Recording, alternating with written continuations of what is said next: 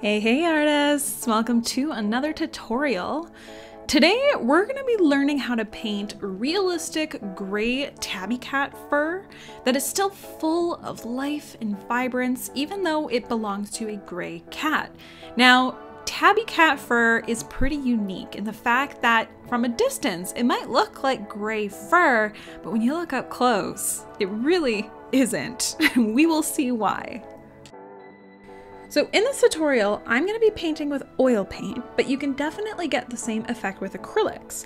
I highly recommend using a slow drying medium with your acrylics so that you can extend that drying time and make your painting process easier. I painted exclusively with acrylics for years, so I know it's definitely possible. You can also find the list of colors that I used here on the screen. Now, if you're craving more help and want the full real-time tutorial complete with my voice walking you through every single moment, paint mixing recipes, reference photos, and more, I think you will love the Wildlife Painting Academy. New tutorials are added each month, and it truly is your secret weapon for learning how to paint realistic wildlife easily. You can check it out in the description of this video. So I'm starting off by basically sketching out where the different features are gonna go with ivory black here. So I'm using a really big brush. I just wanna get in some, you know, basic shapes. I'm not going with any detail yet. Basically showing where the darkest parts of the painting are gonna go and some additional markings. Although it's really hard to tell on the screen here, I'm actually going in with a lighter tone now. I added a tiny bit of titanium white to my paint, and now I'm starting to block in the next lightest shade. Still very, very dark, but we're gonna start to build up from darkest to lightest. I added more titanium white here, still using a really large brush because I want to cover a lot of ground and I also want to prevent myself from jumping into detail too quickly.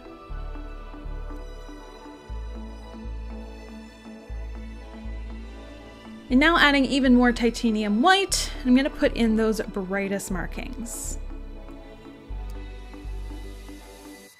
This gray tabby had kind of a white ring of fur around its eyes, so I'm going in here adding even more titanium white to my gray fur and just getting in that nice ring. So now it's time to do something about that staring zombie eye. So I'm starting off here. I'm actually going to paint the eye in grayscale and then we're going to add some color with glazes. So I'm starting off by putting that cast shadow underneath the lid and then putting a medium-ish tone gray where the bulk of the iris is going to go. I'm also using a small round brush here with ivory black to reinforce the sort of black flesh around the eye and also to put in that pupil and to start to add a little bit of texture and detail to that eye.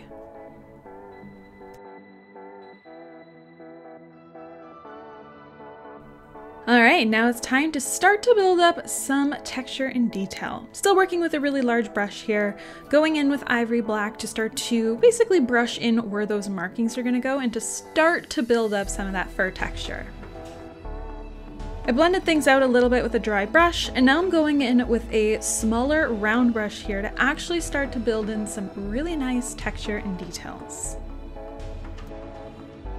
I'm going to start off by adding my darkest details first. So I'm going to be using lots of ivory black here. And this is going to be in the shadow regions, but also in the markings.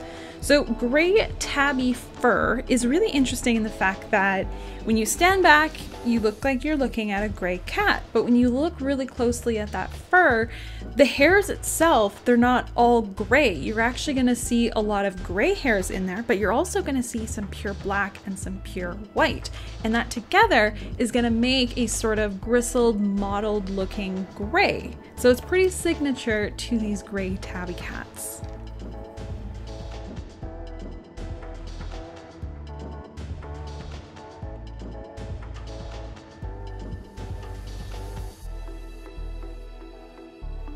So now I'm going in with some lighter paint, still working with a pretty large filbert brush, and I'm going to start to build up some of the lighter portions of the fur texture.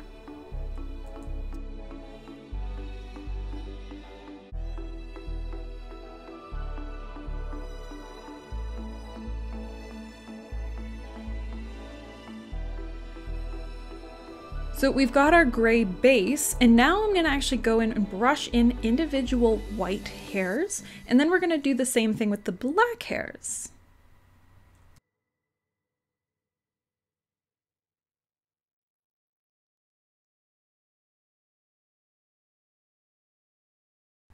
All right, it's time to add some life to this fur. I let it dry for a few days so the paint is completely dry, and now I'm going in and adding a glaze layer here. I'm using a little bit of burnt umber so that the fur isn't just plain old boring gray anymore. We're gonna add some nice light to it.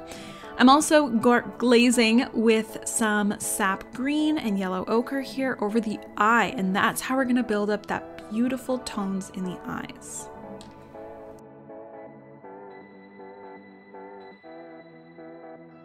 I wanted to add just a tiny little hint of blue in the center around the pupil there, so I went in with Phthalo Blue with some glaze just to punch up that saturation.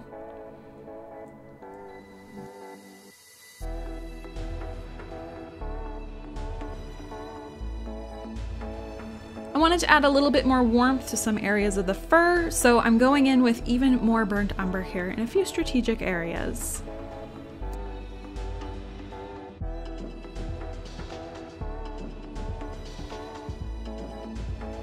So now I'm going in with Ivory Black again, and I'm gonna strengthen some of those markings, and I'm also gonna strengthen the detail of that fur.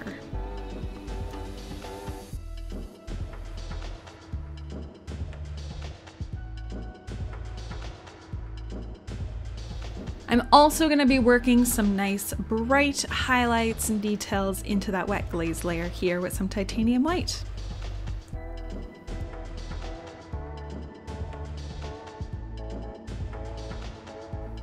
Carefully adding in those few last individual hairs that are really gonna make this painting pop.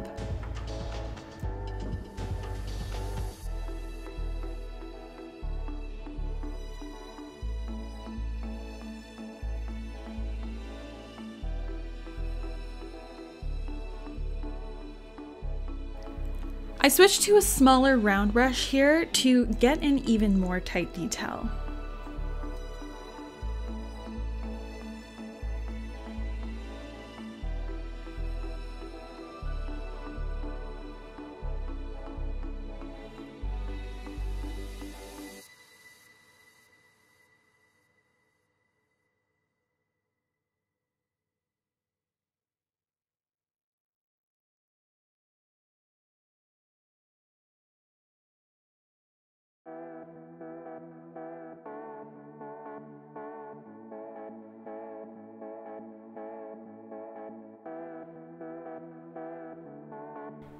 You want to pay really close attention to your reference photo. You want to make sure that you're always stroking your brush in the direction that the fur grows in and also trying your best to be accurate as far as the texture of the fur and the length. These are all really, really important features of fur.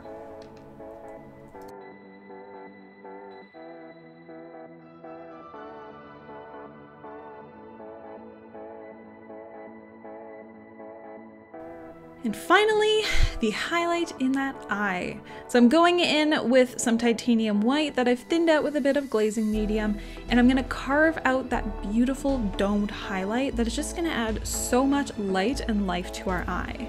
I'm also going in and putting in a few more last minute details like whiskers and individual hairs.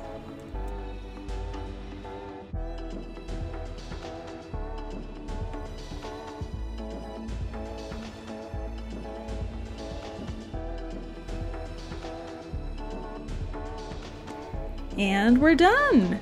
Hopefully you enjoyed this tutorial for how to paint realistic gray tabby fur. It can seem a little tricky at first, but when you break it down and you really look at what that fur is made of, it makes it so much easier. I hope you can use what you learned here to create a beautiful painting of a gray tabby cat of your own.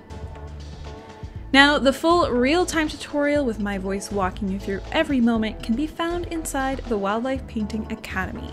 There is a link in the description of this video. Thank you so much for watching this tutorial. Please hit that big beautiful subscribe button if you want to keep learning how to paint realistic wildlife easily. If there are any animals that you want to learn how to paint, leave me a comment and I will add it to the list. Thank you so much for watching and I will see you in the next video.